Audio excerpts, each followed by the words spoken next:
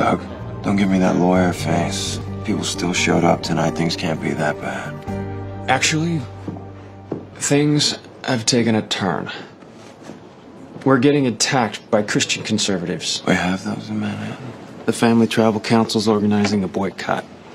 You'd be shocked how much influence they have. That's the kind of thing that would only entice my target clientele. I don't think the business has the luxury of waiting around to see.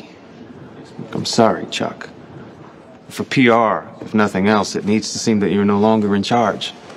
You need to hand over operations of the hotel, at least temporarily. Perhaps a family member. I'll do it. Doug, give us a moment.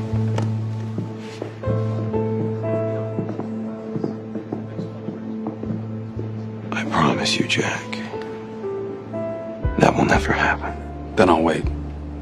And when your beloved hotel is bankrupt and empty, I'll swoop in and give you a fair market price. I'm sure there's some copper pipes I could salvage. This was your plan, wasn't it? No. But I'm totally gonna reap its rewards. You took what was mine. Now I'm gonna take what's yours. At least you know it's staying in the family.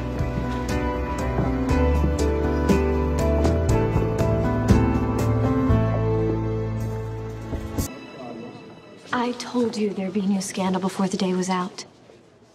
But we can talk about that later. What's wrong? A boycott. Doug says I have no choice but to sign my hotel over to someone else.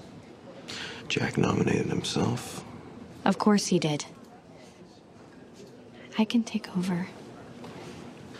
I don't think signing the hotel over to my 19 year old girlfriend would ease the public's mind. What about Lily? She's Bass Industries. The last thing I want is my father's company bailing me out.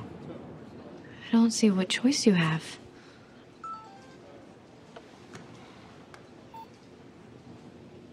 DNA results. What do they say? Looks like I've got another choice.